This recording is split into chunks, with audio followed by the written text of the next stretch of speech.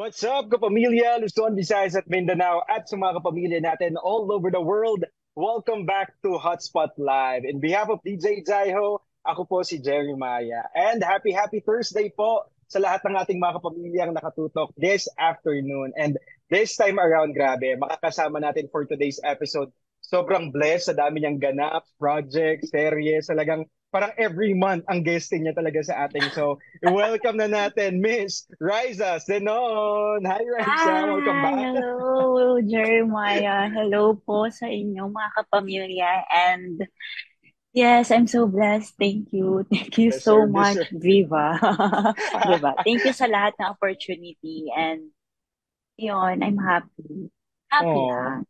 Yes, totoo. Good vibes and happy lang. Grabe from the success of your movie, Kunwari Mahal Kita. Parang last month lang ba yun, Riza, Di with ba nga, hindi pa ako nakaka-move not, on. Eto, ah, meron na naman. may bagong movie nga agad-agad. Ito yung sa Yes. muli. How do you feel, Riza, na grabe yung sunod-sunod from serye, ng movies, ganyan? Yes, ah bali ano, syempre blessed ka na ano. Pero sabi ko nga eh, na hindi, ano ba yan, hindi pa ako nakaka-move on sa kunwari. Tapos eto na naman, may bago tayo, di ba? Pero happy ako na sa tagal kasi, kasabay kasi ito ng kunwari yung ginagawa ko siya eh. So, nailabas na, di ba? It's three years in the making. Wow, grabe yung three years in the making. Yes. Pero nakakatuwa, Riza, no? Grabe, ang ganda ng feedback. Congratulations sa magandang feedback nitong, from trailer Salamat. pa lang, itong sa muli sa YouTube nung napanood ko. Ganda ng feedback hanggang sa mapanood nila itong pelikula dahil showing na, na nga ito mga kapamilya. How do you Mhm. feel sa mainit na pagtanggap ng ating mga kapamilya? Sobrang ano, sobrang saya na na-appreciate nila yung ganong klaseng pelikula. I mean, kasi may period eh, Oo. 'di ba? So, sobrang na-excite talaga kami na i- i-share to or ipalabas to dahil dahil dun sa ganong tema na may period, especially sa mga Gen Z right now na Mm-mm. hindi nila alam kung paano ba manligaw noon. 'Di ba? Sobrang Oo, ang laki na ng difference nung ngayon at noon nung kung paano makuha ang isang babae. Di ba? Yun yung dapat natin abangan at Oo, alamin oo. sa movie na ito Oo. talaga, Tapos di yung mga reincarnation, mga ganyan. Oo. So, Parang ang daming, sa lahat ng pelikula. totoong totoo, parang ang daming roles and na pinortray mo dito, parang iba-ibang era sila kung tawagin ba natin. Yes. Ano ang role ni ni Raisa dito? Roles ba kung tawagin natin? Oo, kasi tatlo, no? Tatlo, no? Tatlong characters kasi siya. So, sa 1900s, ako si Aurora. So, medyo maano siya. Ito yung pinaka-favorite ko na, ano, na period. Kasi, um, ano siya eh, uh, marami siyang dapat isipin, especially sa mga sa mga galaw mo, mannerism. Kasi sobrang liit lang ng galaw mo pag Oo. 1900s. Dahil kailangan, ano ka, binibini, Mainhin, ganyan, di ba? hinhin, di ba?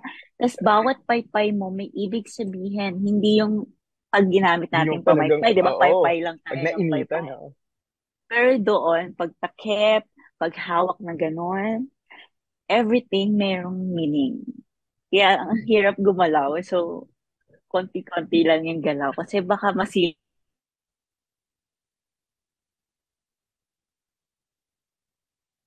Ano nangyari? ako naman, si Belen.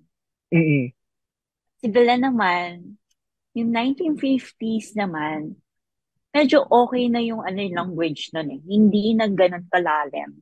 Mm-mm. And yung yung yung character niya medyo classy siya pe- pero may a little bit naughty. Ayun, ito na nga. Di ba nga ang mga 50s medyo magaslaw, gumalaw na parang laging kinikilig na ewan. Mga ganon. May pagka-naughty. Mm-mm. So, tapos si Ellie naman yung present. Si Ellie, siya yung tipo ng babae na walang pakialam sa mundo. Ay, Kaya nga okay lang sa kanya na kung mamamatay, mamamatay. mamamatay. Wala Oo, siyang pakialam. Oo. So, para siyang transparent na tao. What you see is what you get. Parang ganon. Grabe. Ganon siya. Pero Raisa, pa paano yung naging preparations mo dito? Kumbaga tatlong role ang pin- pinortray mo in just one movie. Mahirap ba yung ganong kumbaga transitioning ng characters? Mahirap siya yung situation namin kung paano siya ginawa. Because paputol-putol.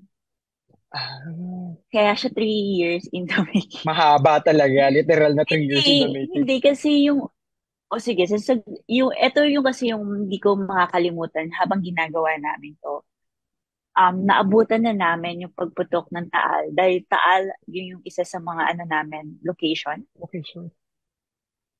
Quezon, nasa Quezon kami, nag-a-announce na na maglo-lockdown na dahil sa pandemic. Grabe. Yun yung mga pinagdaanan namin. Tapos namatayan kami ng isang staff dahil sa, sa COVID. Nabuntis ako. Tapos, um, kailangan namin bumalik ulit to resume, ganyan. So, parang 29, late 2019 to 2020, nag-start kami and then na-stop kami dahil sa pandemic. And then 2022, kami nag-resume. Grabe. So, Ang ang, dami ang naganap, haba ang dami nangyari. oo, Oo. saka ang haba nung gap kasi, so kailangan namin uli mag-meeting.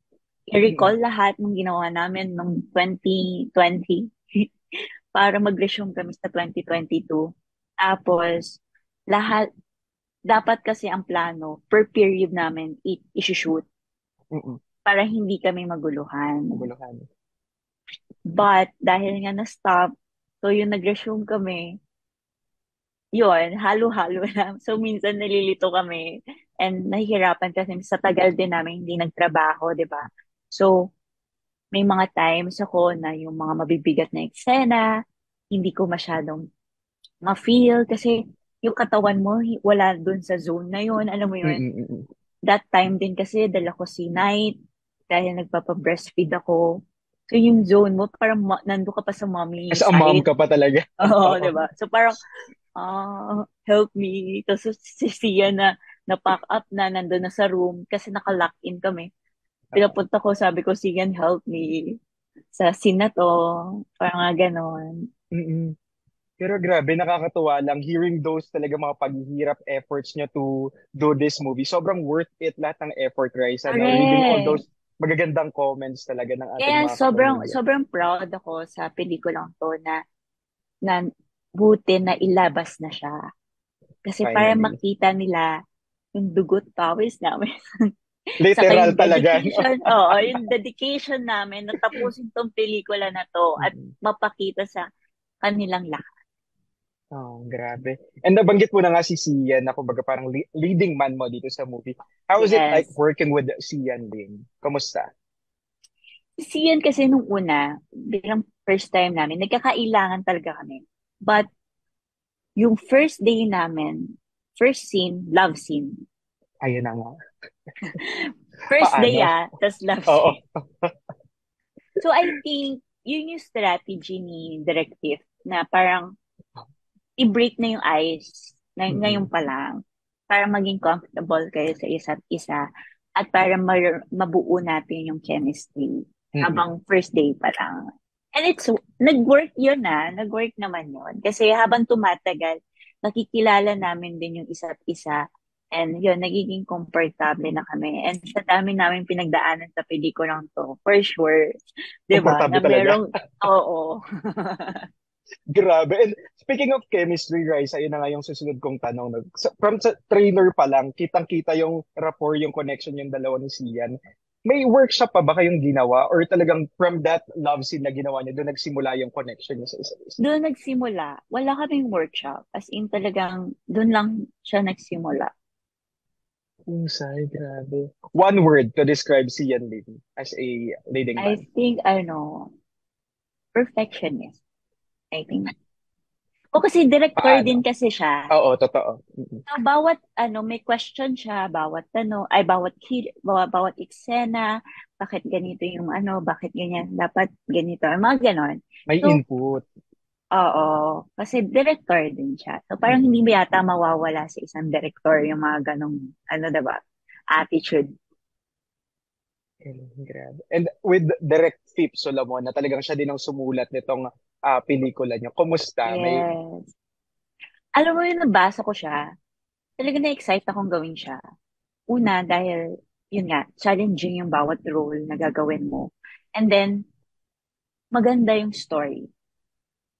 Kaya, nagustuhan ko siya. Kaya, working with Direct Fifth, and sobrang mm, sarap siyang katrabaho kasi sobrang, ano siya eh, collaborative.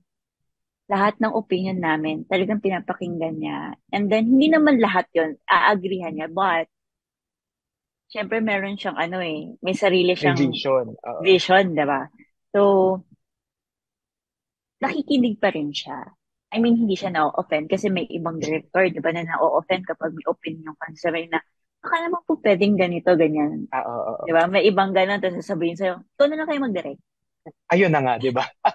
Very collaborative si Direct Fip pala talaga. Oo. Saka ano, talagang nandyan siya talaga lagi. Gina-guide kami, especially pag, lalo na yung nag, ano kami, nag-resume. Talagang tulungan kami. Kasi, ang tagal eh, di ba? So, kapag may nahi- like yun, nahihirapan kami eksena, nandun talaga siya to, to guide us sa mga scenes. Galing. Teamwork, team effort talaga para mabuo itong pelikula. Ganda. Oo. Hanggang sa production ha, teamwork talaga.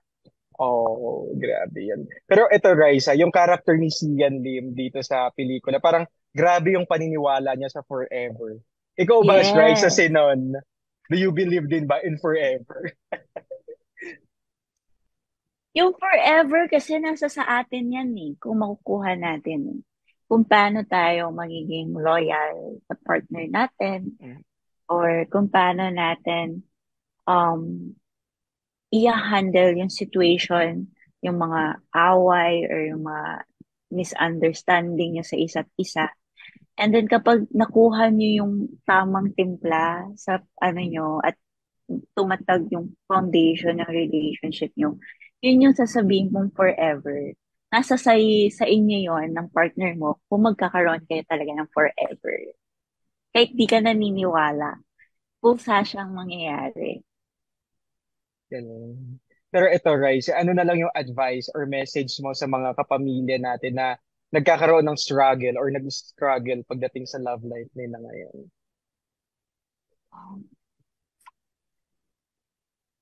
Um, kapit lang.